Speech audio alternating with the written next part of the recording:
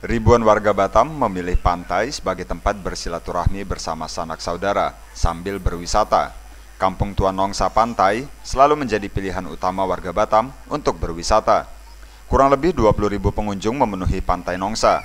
Selain bermain di pantai, pengunjung juga bisa menyewa kapal untuk pergi ke Pulau Putri yang berada di seberang Pantai Nongsa.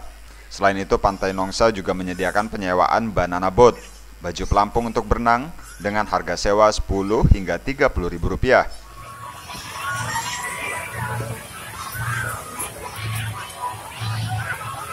Pengunjung juga tidak perlu khawatir untuk memarkirkan kendaraan bermotor dan mobil kesayangan mereka, karena di Kampung Tua Nongsa Pantai ini, masyarakat setempat menyediakan tempat parkir mobil dan motor dengan nyaman.